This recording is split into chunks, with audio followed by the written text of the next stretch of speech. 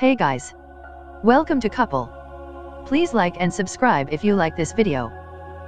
Idris Elba will play the villain in the Fast and Furious spin-off, Hobbs and Shaw.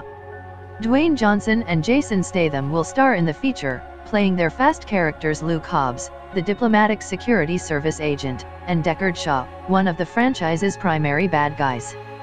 The Crown actor Vanessa Kirby will also star. The Fast franchise's veteran scribe Chris Morgan is writing the script, with Deadpool 2 director David Leitch set to helm. Neal H. Moritz will produce via his original films, alongside Johnson and his Seven Bucks Productions partners, Dany Garcia and Hiram Garcia. Statham and Morgan will also produce with Kelly McCormick, Steven Chasman, Amanda Lewis, Ainsley Davies, and Ethan Smith exec producing. Mark Sourian and Jay Polidoro will oversee the project for the studio. Elba, who was last seen in theaters in Avengers, Infinity War, will next lead the fifth season of Luther and is currently in production on the Netflix comedy series Turn Up Charlie, which he created and will star in. He is repped by WME and Artists Partnership.